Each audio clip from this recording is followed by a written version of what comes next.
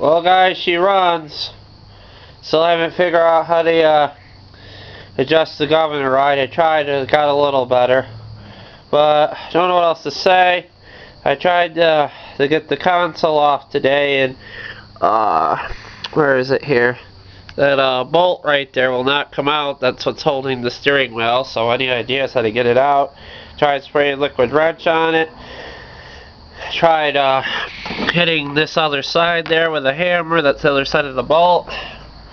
I uh, reason why I want to get the console off is so I could uh, check the, the key ignition to see what's going on with the wires and stuff.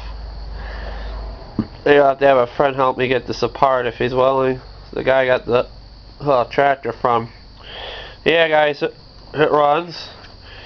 Uh, tire's still flat. I don't know. I might not get this done the next spring, but who knows. Uh, the, uh, it'll go forward now. I can roll it forward when I have it jacked in the air and uh, push on the both wheels at the same time. So yeah, guys, I'm making some progress.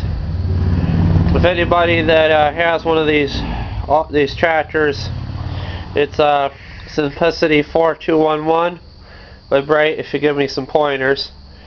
Uh, when this thing is done, monkeying, I'm gonna put a, a belt on the Stamper snowblower my friend, and you'll be seeing some videos of that. Hopefully, uh, chopping snow if we uh, get some snow this year. Uh, this is the end of the video, guys. I'm done with it for the day. I don't know what else I can do with it because I, uh, I'm having trouble with it. I can even uh, get that tire off right there, this flat one, because I want to replace it. I uh, tried hitting with a chisel, a hammer, trying to pry it off.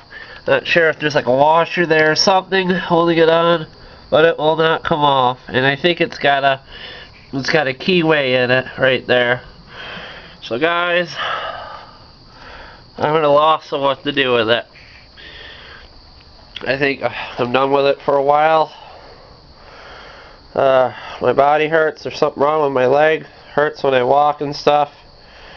I want to talk more about it, but I guess this is it, guys. You take care. Bye.